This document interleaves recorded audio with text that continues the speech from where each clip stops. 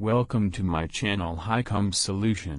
Hello दोस्तों, स्वागत है आपका आपके अपने चैनल हाईकॉम सॉल्यूशन पर दोस्तों, आज मैं आपके सामने एक ऐसे एक्सरसाइज लेकर आया हूँ जो हकलाहट को ठीक करने वाली सभी एक्सरसाइज सभी योगासनों का एक कंप्लीट पैकेज है यह एक ऐसी एक्सरसाइज है, मात्र एक एक्सरसाइज को रोज़ करने से ही आपकी हकलाहट हमेशा के लिए पूरी तरह से ठीक हो जाती है।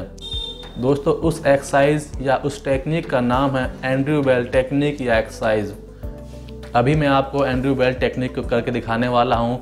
तो दोस्तों वीडियो को पूरा देखना स्किप मत करना, क्योंकि अगर आपने वीडियो स्किप कर दी तो आपकी एक्सरसाइज समझ में नहीं आएगी, जिससे आपको प्रॉफिट बहुत कम होगा। आप इस तरह से बैठ जाएँगे। आपके दोनों हाथ आपकी कमर पर होने चाहिए। कमर बिल्कुल सीधी बैठने के लिए आप कोई स्टूल या कोई चेयर ले सकते हैं। मेरे पास स्टूल नहीं था, इसलिए मैंने अपनी चेयर ले ली है। स्टूल ज़्यादा कंफर्टेबल रहेगा एक्सरसाइज करने के लिए। आपको एक सेंटेंस याद करना है। In this word I am an important person in this word I am an important person इस वर्ड को आपको एक्सरसाइज के थ्रू ब्रीथिंग एक्सरसाइज के थ्रू रिपीट करना है। अपने अंदर सांस भरकर आपको देखिए कैसे ये वर्ड आपको सेंटेंस यूज़ करना है। इम्पोर्टेंट के आप तीन पार्ट करेंगे।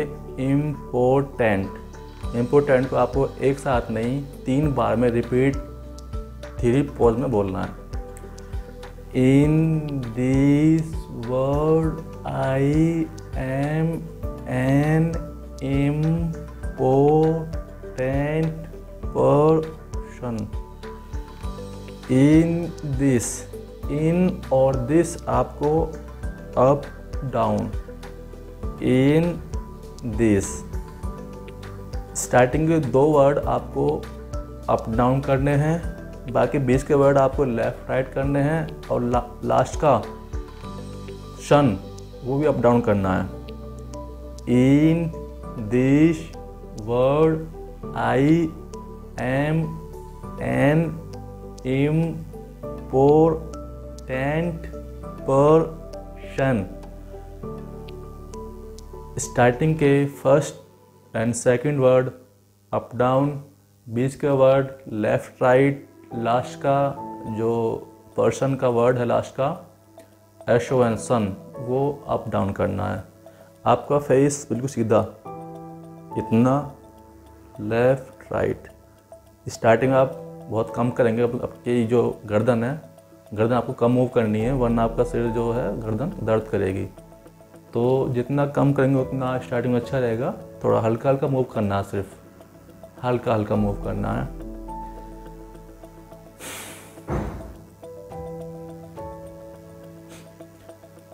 जब आप इस सेंटेंस को बोलते हैं तो आपको आपकी वॉइस थोड़ी लाउड होनी चाहिए और आपका माउथ पूरा, आपको माउथ पूरा स्ट्रेस करना है।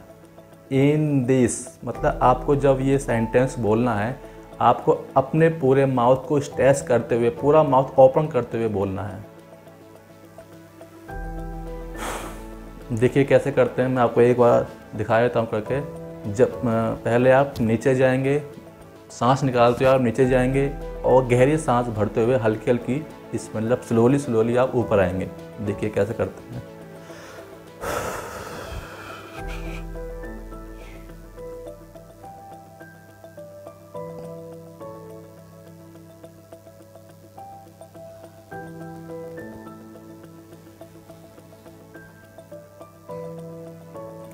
In this world, I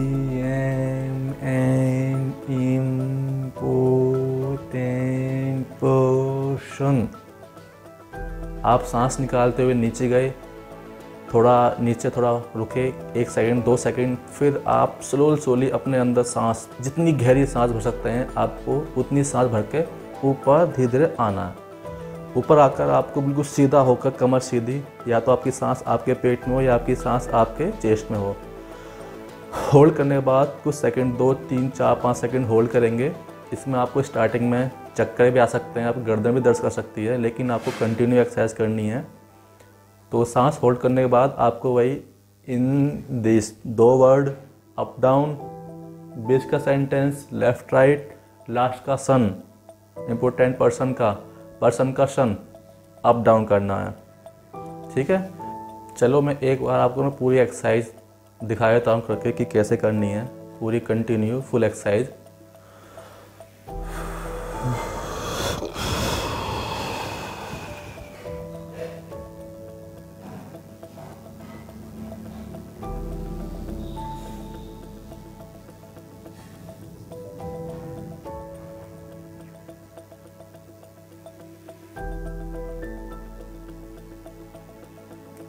In this world, I am an important person. जब आप झुकेंगे जितना आप नीचे जाएँगे उतने आपको प्रॉफिट मिलेगा झुकते हुए आपको जितना झुक सकते हैं मैक्सिमम उतना झुकें पूरी सांस को बाहर निकालें जब ऊपर आएँ स्लोली स्लोली आपको सांस अपने अंदर लेनी है। जितना हो सके मैक्सिमम आपको अपनी सांस अंदर लेनी है। ऊपर आकर पाँच सेकंड होल्ड करना है। इस तरह से होल्ड करना है। फिर फ़र्स्ट वर्ड, अप डाउन, बीच का वर्ड, लेफ़्ट, राइट, लास्ट का वर्ड, पर्सन का सन, अप डाउन, ख़त्म। दो सेकंड वेट, फिर से वही पोजीशन, सांस बाहर निकालते हुए नीचे जाएँगे। जितना झुक सकते हैं उतना झुकेंगे। ऊपर सांस भरते हुए ऊपर आएँगे, जितनी सांस अपने अंदर ले सकते हैं, उतनी सांस अपने अंदर भरेंगे।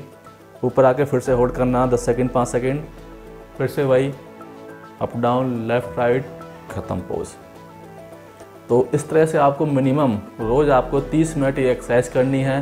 धीरे धीरे चक्कर आएँगे आपकी गर्दन भी दर्द करेगी। मैं स्टार्टिंग में आप थोड़ी स्पीड स्लो रखें, गर्दन को मूव ज़्यादा ना करेंगे तो इस तो आपका दर्द कम होगा। जैसे आप धीरे धीरे सीख जाएँगे तो आप गर्दन आपको ज़्यादा मूव कर सकते हैं। लेकिन फर्स्टली आप गर्दन को हल्का हल्का मूव करेंगे, जिससे आप गर्दन में दर्द कम हो।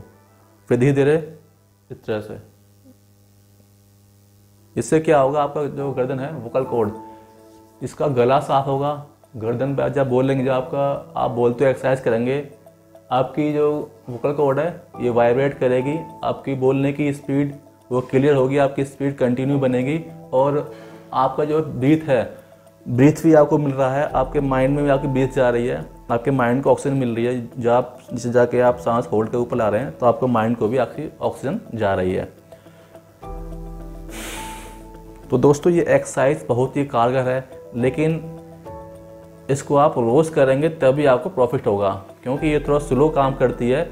आप 10 पंद्रह, एक महीना कंटिन्यू एक्सरसाइज को करके बताइए कितना फ़ायदा होगा।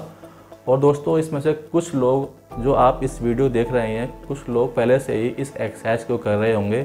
तो कृपया आप बताइए नीचे कमेंट में लिख के कि आपको कितना अभी तक फ़ायदा हुआ और क्या क्या फ़ायदा हुआ, क्या ये पैक्ट क्या ये जो टेक्निक है, वो कागर है या नहीं है। मैंने भी इसको किया था, मुझे तो बहुत फ़ायदा हुआ। मेरे फ्रेंड भी करते हैं, उनको भी काफ़ी फ़ायदा होता है। तो अभी भी मैं इसको करता हूँ, वीक में दो बार करता हूँ, मुझे टाइम मिल नहीं पाता तो लेकिन मैं कंटिन्यू करता हूँ। तो आप आज से ही इस एक्सरसाइज को करना शुरू कर दीजिए। सुबह अर्ली मॉर्निंग में करना एक्सरसाइज जल्दी उठिए। सुबह अर्ली मॉर्निंग छः बजे उठकर फ्रेश होकर नहा धोकर या फिर वैसे ही कर सकते हैं आप। रोज़ 30 मिनट मिनिमम 30 मिनट आपको एक्सरसाइज करनी है। 30 मिनट आपको लंबा लगता है तो आप 10-10 मिनट के तीन ब्रेक ले सकते हैं। बीच में मतलब एक मिनट का गैप ले लिया, आपने दो मिनट का गैप ले लिया। या 15 मिनट का गैप मतलब 15 मिनट के बीच में आप एक गैप ले सकते हैं। ठीक है, दो बार कर सकते हैं। स्टार्ट में मैं फिर बोल रहा हूँ, चक्कर आएगा, सिर दर्द होगा, आपकी गर्दन दर्द करेगी। यदि आपको ना चक्कर ज़्यादा आता है तो आप तुरंत ऐसे लेट जाएँगे। क्योंकि कभी कभी क्या होता है, आपको चक्कर आ रहा और आप ऐसे ही हैं तो आप गिर जाएँगे उधर ठीक है? चक्कर तब आएगा जब आप ना अपनी सांस भरने के बाद ज़्यादा होल्ड करते हैं। तो शुरू में ना, आप जैसे आपने सांस ली, आपने इनहेल किया, आप ऐसे बैठे तो ज़्यादा देर सांस नहीं होल्ड करनी है। जितना देर आप सांस होल्ड करेंगे, जितनी देर तक तो आपको उतना ही चक्कर आने के चांस बढ़ जाते हैं। तो स्टार्टिंग में आप ज़्यादा देर तक सांस होल्ड नहीं करेंगे, ठीक है? तो दोस्तों यदि आप हमारे चैनल पर नए हैं और आपने अभी तक हमारा चैनल सब्सक्राइब नहीं किया है तो कृपया चैनल को सब्सक्राइब करें। दोस्तों, एक बात रहेगी कि जब आप सेंटेंस को बोलेंगे तो आपको सांस को एक्सेल करते हुए बोलना है। ये नहीं मतलब आपने सांस होल्ड कर ली तब बोल रहे हैं। सांस के साथ साथ मतलब आपको सांस को निकालते हुए आपको सेंटेंस रिपीट करना है। मतलब धीरे धीरे आपको सांस छोड़नी है, उसके साथ आपको सेंटेंस बोलना है। क्योंकि ये बीच में बताना भूल गया था, देखिए ऐसे। In this world, I am important person. तो दोस्तों, आज की वीडियो यहीं समाप्त करते हैं। जय हिंद, जय भारत।